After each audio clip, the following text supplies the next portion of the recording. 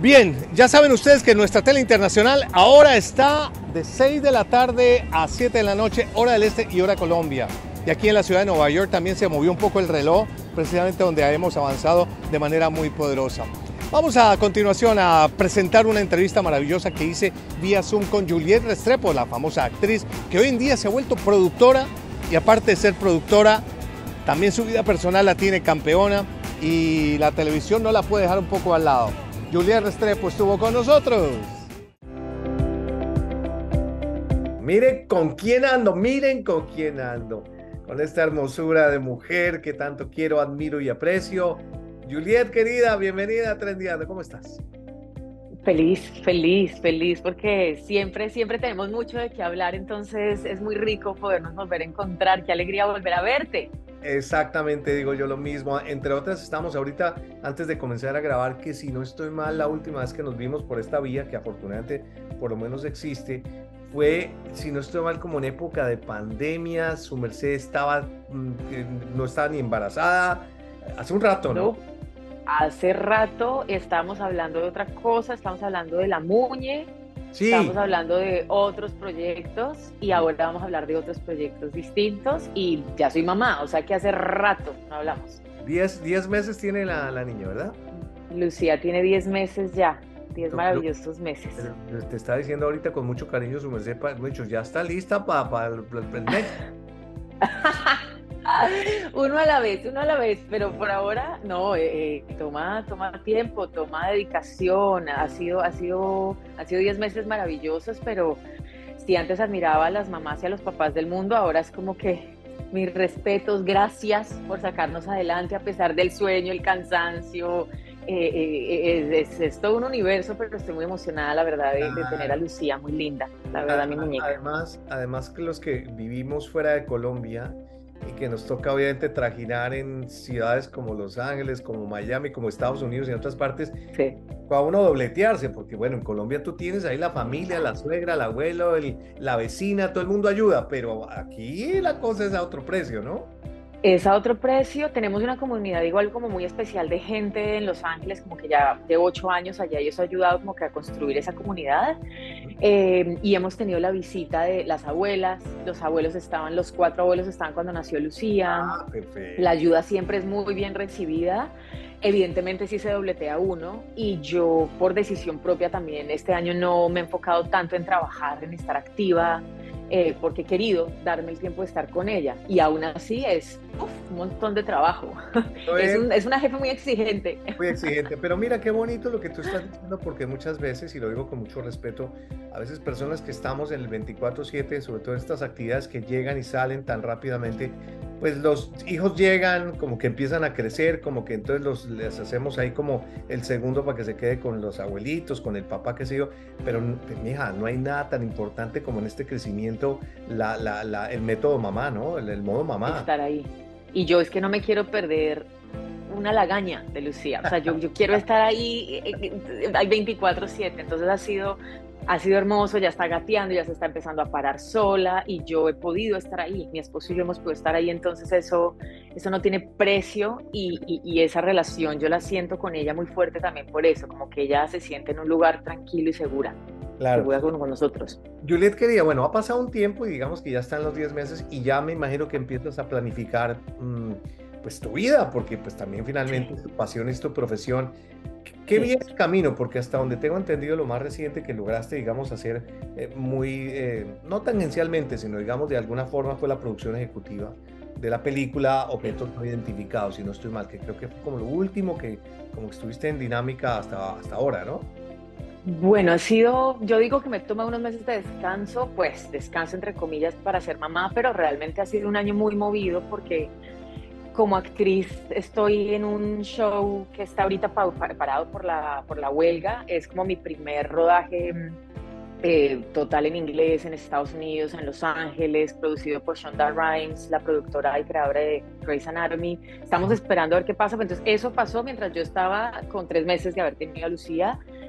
Y se ha dado como, como el tiempo, la verdad, como yo poder tener este espacio, pero también con la producción ejecutiva que mencionas, estamos lanzando Objetos No Identificados, que fue un proyecto que rodamos, una película que rodamos en plena pandemia, en agosto del 2020, en Nueva York dirigida por Juan Felipe Zuleta, que además es mi cuñado, ah, y la música la escribió mi esposo Sebastián Zuleta, y con nuestra productora Blue Rabbit Films somos coproductores, somos productores ejecutivos de la cinta, y es, es, es, toda una experiencia muy linda porque, mira, la filmamos en el 2020 y nos ha tenido muy activos este año porque hemos estado ya en más de 64 festivales en el mundo, han salido unas críticas maravillosas, en el New York Times nos pusieron en la lista entre las cinco películas que había que ver este año, y ese, eso trae una cosa y trae otra y trae otra, entonces sí es mucho trabajo, como que hemos, somos un equipo grande, entonces lo hemos podido como sortear entre todos, pero cuando uno ya está detrás de cámaras, siento que el trabajo no para. O sea, cuando tú estás como actor, vas a un set,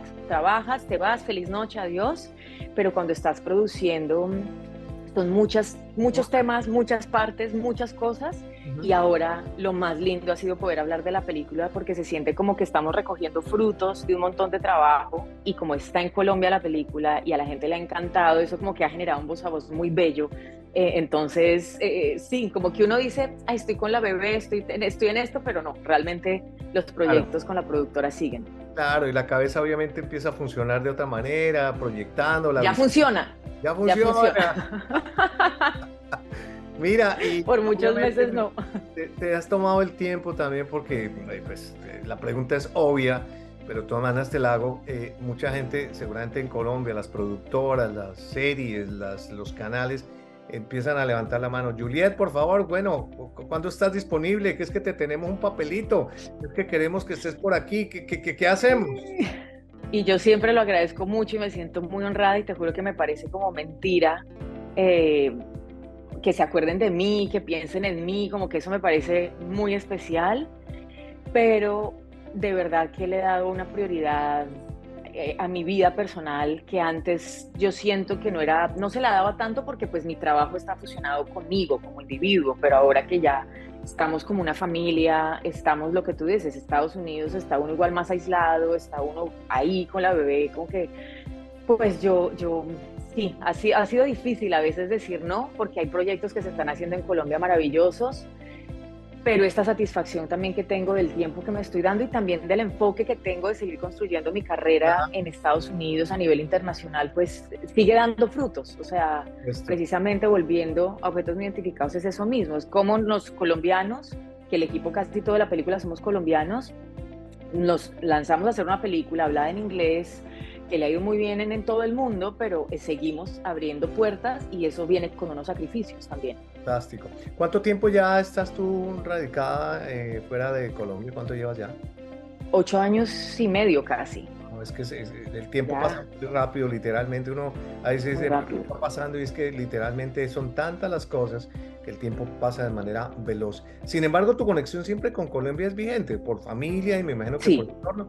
Vas, vuelves, vas, vuelves cuando hay oportunidad o no. Sí, el año pasado estuve filmando mientras tenía como cinco meses de embarazo. Filmé, estuve filmando Estimados Señores, que es una película de Patricia Castañeda, actriz, oh. directora, escritora. Debe estar por salir con muchas ganas de verla y siempre trabajos así, noticia de un secuestro también me llevó a filmar en Colombia, como que cuando hay esas, esas razones tan importantes yo no, no, no me lo pierdo. si eventualmente, eventualmente esto pasa el próximo año, pues lo haré ya con familia. Se viene la familia porque ya Lucía no se queda acá y nos acabamos de ganar eh, un premio del Fondo de, Cine, de Desarrollo Cinematográfico en Colombia. Gracias, sí, con un cortometraje que vamos a rodar en San Andrés el próximo año. Buenísima. Entonces, ahí estaré. Ah, buenísimo. Sí. ¿Sabes, Y todo eso ha pasado mientras estamos con la bebé. Claro, es una cosa que me enorgullece muchísimo y la estoy viendo con cierta tendencia, mi querida Juliet, y es que veo a las mujeres independientemente que son talentosas como actrices, sino aquellas como tú que son emprendedoras y empresarias, que les está yendo supremamente bien. Casualmente en estos días hablaba con Flora Martínez, que Flora mm. también, digamos, es una dinámica, de decir, yo voy a dirigir, hizo su película, la acaba de lanzar, eh, y me parece de verdad como un salto muy importante sobre todo en el mundo de la cultura del cine y de la televisión, que las mujeres, que siempre las he querido, las respeto y sobre todo porque ustedes son 360, cómo han logrado encauzar, sobre todo en Colombia, lo que anteriormente era mucho más, diría yo, muy masculino. la razón no vamos a entrar, pero digamos que es como una nueva puerta y tú estás dentro de ese portafolio.